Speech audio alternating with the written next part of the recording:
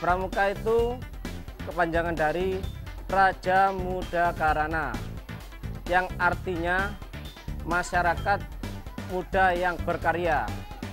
Pramuka itu adalah sebuah organisasi yang dapat membentuk pribadi disiplin dan bertanggung jawab.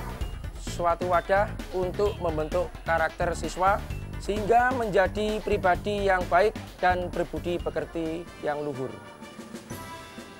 Pramuka itu harus cinta alam, Harus mandiri, harus suka menolong, harus tabah dan sabar, disiplin, berani, dan setia. Bertanggung jawab. Pramuka itu suci dalam pikiran, perkataan, dan ya.